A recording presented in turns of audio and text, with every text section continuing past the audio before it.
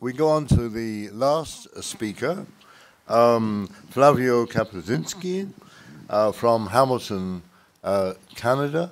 And um, he's going to talk, pardon me, uh, neuroprogression and immune, immune activation. Again, we're back to bipolar disorder. Flavio, looking okay. forward to your talk. Thank you, Brian, and thank you, Angelos, for inviting me to this, uh, uh, you know, symposium. And uh, you know, it's great to be here and uh, talking about um, uh, the topic of neuroprogression and see how it's been uh, developing and you know, receiving more and more attention.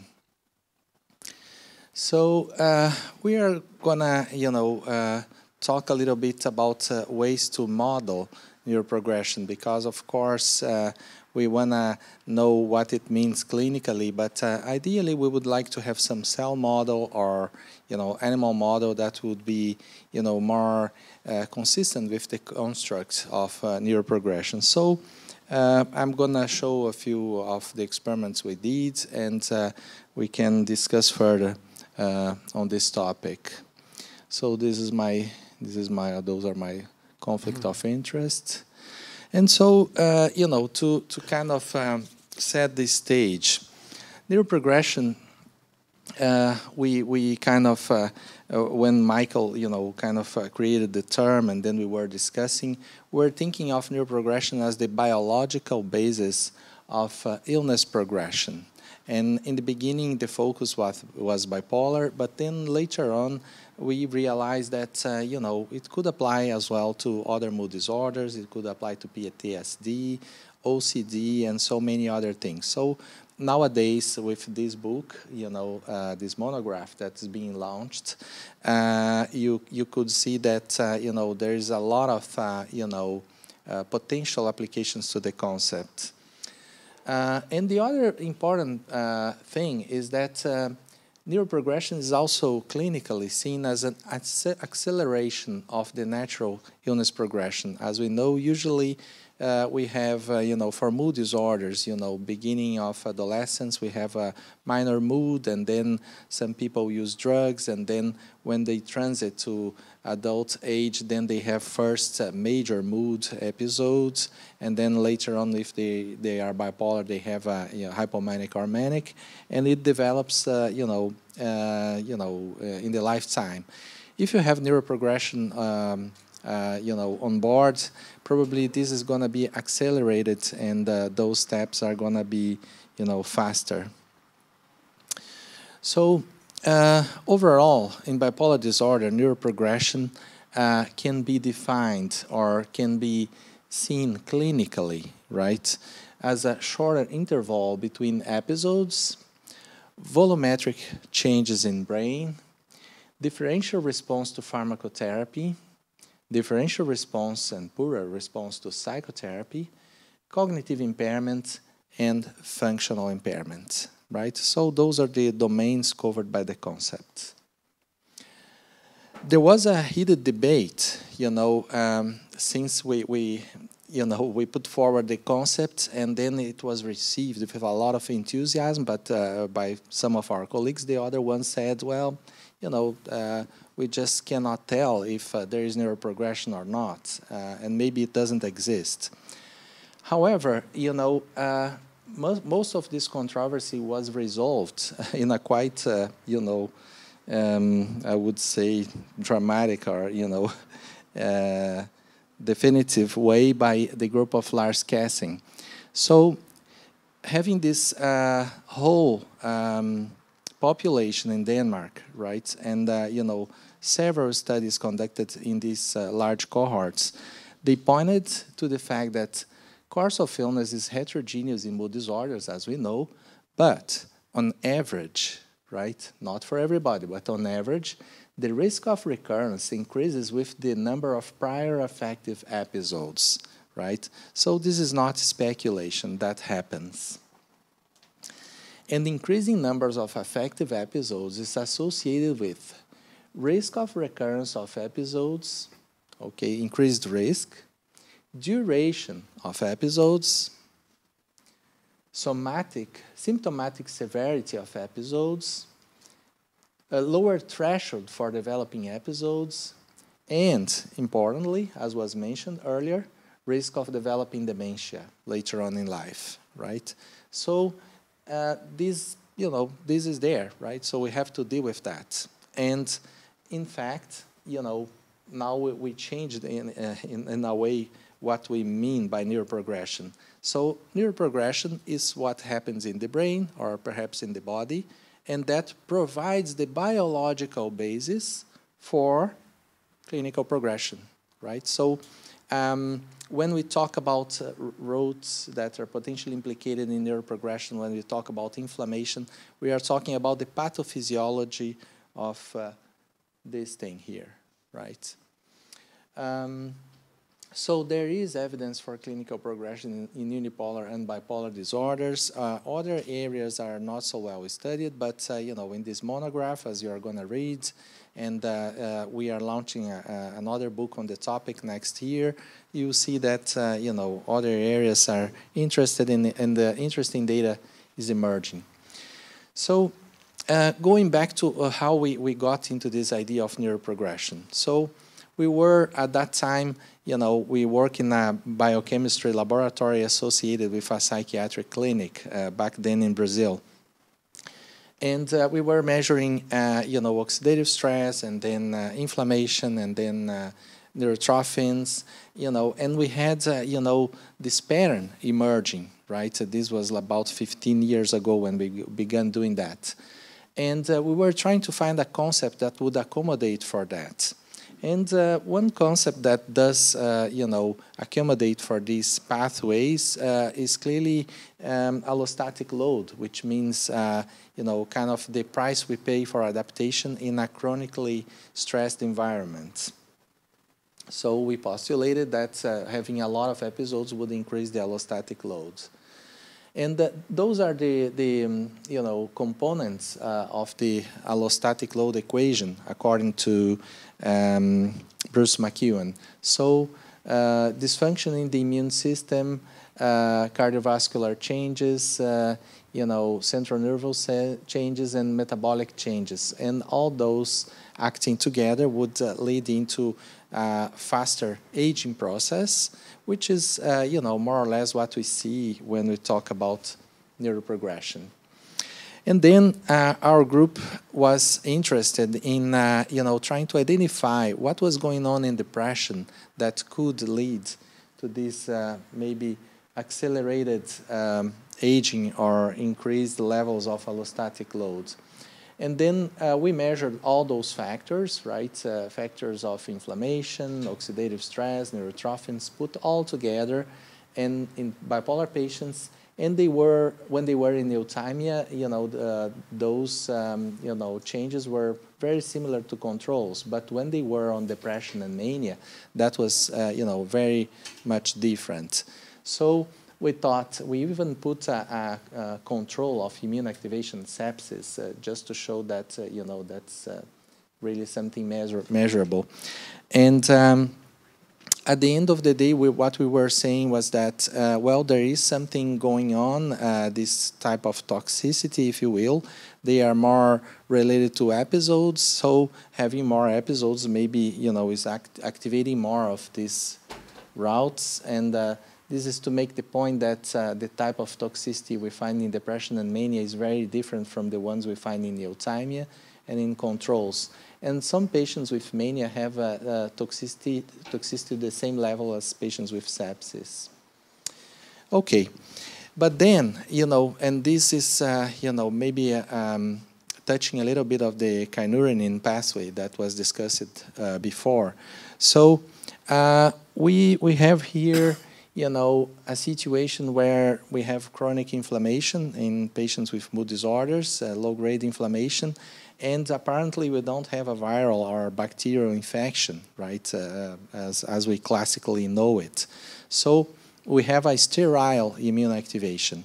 And the sterile immune activation is associated with these uh, patterns. uh, they are called um, damage-associated molecular patterns. And basically, they are things that should be within the cell or within the mitochondria, and then they are circulating and generating uh, immune activation in the periphery. So we measured uh, apoptosis in the blood of, um, you know, bipolar patients, and then we found that, uh, you know, patients uh, uh had more um, early apoptosis in mononuclear cells than controls, right? And that's important because not only through uh, death cell, uh, cell death, but uh, actually through um, apoptosis, you can have the release of these DAMPs uh, in the circulation. And DAMPs, you know, um, I think um, Dr. Brian mentioned before, uh, um, you know, heat shock proteins uh, and then nuclear DNA, mitochondrial DNA, cytochrome C, they, they can act as damps and enhance this immune reaction. And then uh, what we did, uh, we took our patients over there, non-medicated uh, patients with bipolar disorder, and then they were um, severely manic or depressed, uh, non-medicated, as I mentioned. Uh, we compared them to healthy subjects, and then to make the point that this was immune activation, we compared them to a positive control of uh, patients with sepsis. And again, we measured those uh, DAMPs, damage-associated, you know, patterns. And in fact, you know, red is the, the patient group, you know, uh, they were not as well as the uh, healthy controls and not as bad as the sepsis, but they were different, right? So there is, uh, you know, DAMPs are circulating during acute episodes, and they may they may be driving, you know, this immune activation that takes place later on. When DAMPs are circulating, they can activate white cells, right? And those white cells can migrate out of the um, um, capillary compartment, right? Um, for instance, uh, this this shot was taken in the the lungs of the rat. And uh, I don't know if you have compared uh, in your countries uh, what is the rate of physical comorbidities in patients with chronic depression. We did that uh, recently in Canada, and one that uh, you know strikes as very important, apart from cardiovascular, is asthma. Right. So the immune system seems to play a role uh, in these conditions, and as they can leak um, you know, out of the capillary compartment in the lungs, they can do in, uh, you know, uh, some areas in the brain, right? So the blood-brain barrier is not kind of all or nothing. There is, uh, you know, also a mediation and some things can penetrate. And once that happens, once the microglial cells are activated, then there's this whole, you know, mentioned in the previous presentation, uh, you activate also the astrocytes, uh, and then you, when you have a lot of microglial activation, you reduce the number of astrocytes, in fact. And if they are not working properly, you end up uh, losing myelination, right? So this is uh, probably the story uh, within the brain, uh, the more anatomical component uh, of neuroprogression. So it lies in this, you know, white matter compartment. And it's not a surprise when Michael uh, shows that uh, you know lithium would uh, actually uh, be a good thing, you know, to preserve white matter integrity. So you know, to, to uh, you know, illustrate further this point, uh, in postmortem brain, in the prefrontal cortex, there is microglial activation documented um, and then increased in GFAP, meaning, uh, you know, uh, astrocytes. And um, the other important thing is that we showed uh, some peripheral blood markers, right? And uh, within uh, an audience of psychiatrists, people would say, well, but then, uh, and what about the brain? You know, if you're showing the peripheral blood, you know, what would matter in the brain? And in fact, you know, recent experiments, they show that uh, adult neurogenesis can be uh, changed if, you, um, if we induce uh, changes in the peripheral blood. Uh, for instance, um, there is a type of experiment that's called parabiosis. So you can circulate the blood of old rats in uh, the blood of young rats. And when you do that, this is the young rat. This is the neurogenic niche in the hippocampus. And when they receive the, the blood of the old rat, they stop having, you know, neurogenesis. So uh, things that circulate peripherally, they can affect the very shape of the brain. And uh, if, um, you know, in these experiments, if they could block CCL11, eotaxin, you know, the one that was mentioned before, then they could uh, block this effect. So it seems that, uh, you know, this increased inflammation that occurs with age is the one that's having an impact. And, you know, that would fit nicely the story because we have chronic, you know, low-grade inflammation in depression, and then we have increased the risk of um, dementia. So maybe, you know, brain um, neuroinflammation is a common pathway for all that. Okay, this is a representation. This is a young neurogenic niche, and then you have a lot of new neurons and few um, microglial cells. When you have the aged rat, you have a lot of microglial cells and less neurons. That would, uh, you know, happen in, in a rat that is going through chronic stress or depression. We did measure uh, in our cohort back there in Brazil. Uh, we went to, to, you know, to the community to check about the CCL11. So we were intrigued uh, and we thought, gosh, this may be mediating neuroprogression in the community as well.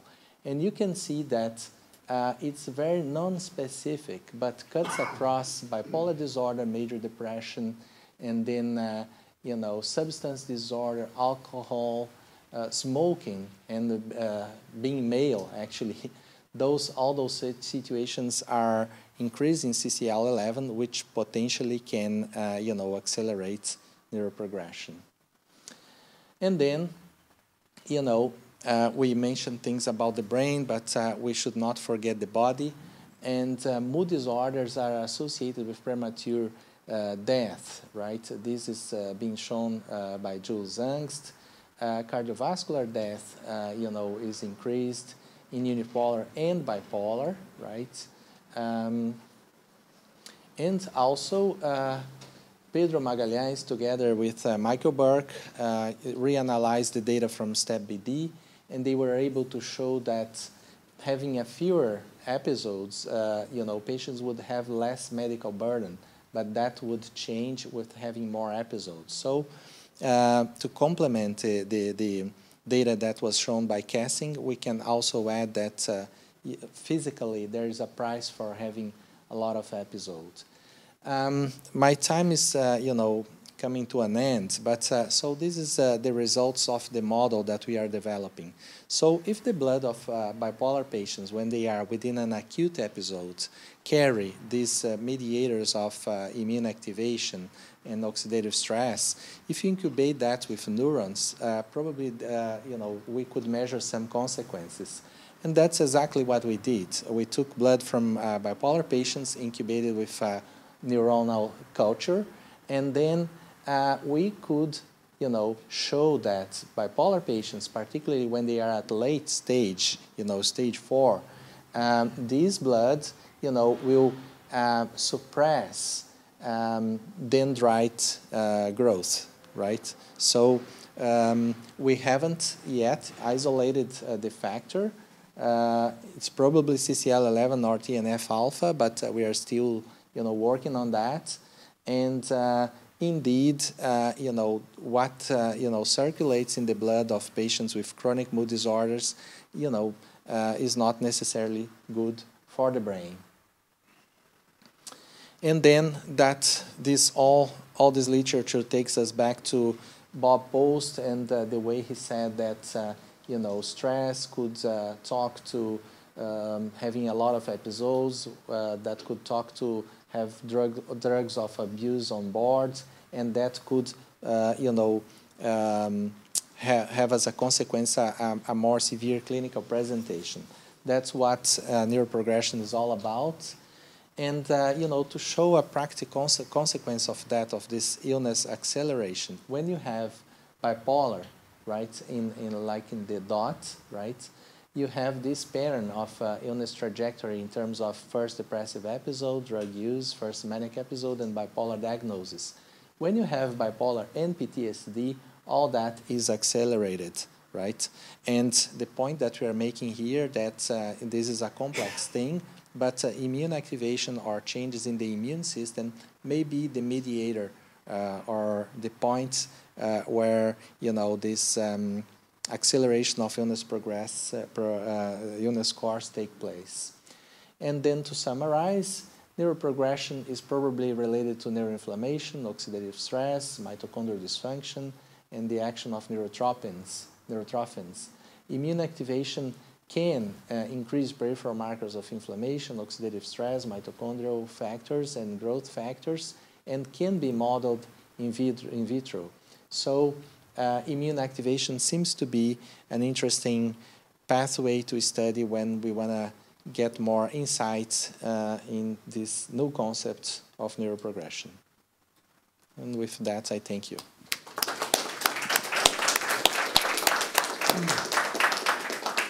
Thank you very much indeed. Um, Flavio, there's time for one or two questions. I think right at the back first and then the second. Yes. I want to ask you, in regards to the activation, a couple of things. First of all, I mean, bipolar disorder is like two illnesses according to phase. Did you guys find differences when the patient is manic versus when the patient is depressed in terms of the type of activation? Yeah, so this is uh, uh, first we thought like that, uh, and then uh, it uh, you know it began like 15 years ago. We were looking into BDNF. We thought uh, the hypothesis at that time was when you have depression, BDNF is low and then when you have mania, BDNF is high. So we set for to, to assess that, and by to our surprise, BDNF was going down in both situations. And then, you know, we measured one marker after the other, and the pattern was always consistent. So having uh, a lot of uh, manic symptoms and having a lot of depressive symptoms uh, in terms of those changes in oxidative stress and immune activation doesn't make a lot of difference. So uh, uh, probably is something underneath the, the, the, clinical presentation. In terms of uh, the, this overactivation of the immune system, does it promote a decrease in immune effectiveness against, uh, say, germs, or does it uh, increase the chances of having an autoimmune disease? Yeah, um, from the extent that we could review this literature, it, it doesn't necessarily, uh, you know, cause autoimmune uh, changes, and um, uh, but uh, in a way, you can think like that uh, using the concept of allostatic loads. If you have this chronic stress, the immune system is always in a defense mode, right? So. Um, it, it is activated, it can fight, uh, you know, risk better, but probably is uh, producing also some things that are not necessarily good in the long term, right? So this is the way we should look at it. Um, I, have been discussing this uh, uh, with Bruce McEwen and other people from the aging area because, uh, you know, uh, we don't suppose that uh, you know human beings evolved uh, in a very peaceful environment. They were in the cave, you know, um, just making barbecue, and very happy. So probably that was a very stressful time. However, uh, people lived uh, uh, to their 30s, right? Uh, 35 was, uh, you know, some of the uh, people that lived the most. So in a way, this pathology of chronic mental disorder is something new, right? we are facing this different scenario. And now you know, we, we have to see, you know, what are the consequences of having this immune activation along uh, one entire life, per perhaps. And uh, th this is the, the way we think about it. Um, there was another question? I would ask you a clinical suggestion. All these findings are increasing the burden to the psychiatrist. I believe we must become super physicians because most of our patients have diabetes, dyslipidemia, hypertension, and many other clinical conditions there that frequently are badly controlled by their uh, clinicians. But we must pay attention to this. What would you suggest to increase our uh, action to them to increase our communication to colleagues in order to uh, better follow the, the treatment of, uh, of the psychiatric disorder. Yeah. May I? Yeah. Okay. So um, the the whole concept of neuroprogression and staging uh, is uh, you know brought into you know as a contribution to to deal exactly with that. So. Uh, we have to, to shift the focus of uh, you know treating cross-sectionally our patients into managing the illness trajectory is a long-term approach and then reducing damage as much as we can. So um, what uh, you know people are doing, for instance, over there in Canada, uh, as soon as patients are diagnosed, is to put them into protocols to to kind of uh, you know check uh, how they are doing in terms of meta- metabolic changes, right? And uh, they are in a way. Um, uh, being treated or uh, you know assessed as they were pre-diabetics, right? So um, this is a way to kind of you know maybe correct early on things and prevent you know this uh, bad metabolic dysfunction uh, that you were mentioning. So uh, this is already uh, taking place, and uh, you know to be fair, uh, of course we shouldn't put uh, in ourselves the demand of being super doctors, but we can learn from the family doctors and do what they do, right? So when they find somebody that is, you know, having um, parent that, uh, you know, that they are convinced that they are going to develop uh, uh, diabetes later on, uh, they start to change things now. So maybe that's what we should do, and uh, in, in, you know, convince patients to have a healthier lifestyle and more exercise, uh, you know, healthier food, and uh, you know, and better lifestyle as much as they can. Yeah, yeah. I'd like to make a quick comment in response to your question. Everything that uh, Flavio said, I fully agree with. Uh, I don't know about what country you work in. Brazil. Um, and I, I don't know how this particular issue is dealt with in European countries, but I can tell you in the United States, uh, surprise, surprise, there is an interesting trend yet to be fully uh, developed and implemented called collaborative care. The basic principle behind collaborative care is to do exactly what you're saying to have teams of psychiatrists, psychologists, mental health professionals work collaboratively with primary care physicians. That means that we share a space together. We are part of their clinics and they are part of our clinics. So that when we see a patient who has a complex picture of cardiovascular disease, diabetes, and on and on and on, we don't have to wait for two or three months in some countries to get an appointment to see a primary care physician, which is often the case in the United States and possibly other countries as well. We've got to be together as a team on the same spot at the same time and work collaboratively. Then we'll, we'll make progress. I think we'll have to um, uh, bring the session uh, to a close now. Um, before thanking uh, my co-speakers and uh, indeed for um, Paul Lavender for uh, bringing us together, um, I'd like to just bring your attention um, to the um, Karger stand and the book on neuroprogression in psychiatric disorders, uh, which in fact um, I think it's being launched at 11 o'clock. Yes, the, uh, the Karger stand. Brian and Los will do a book signing. yes. So uh, please go along, um, buy the book because this will uh, help Angelos and myself to survive for another week. um, yeah, well, yes, yes. Barely a day. Oh yeah. well, that he's American. I'm, I'm Irish.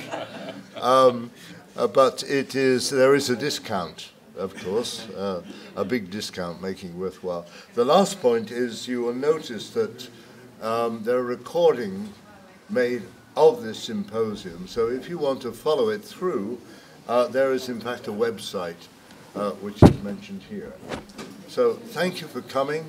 Thank you for my uh, co-speakers and enjoy of the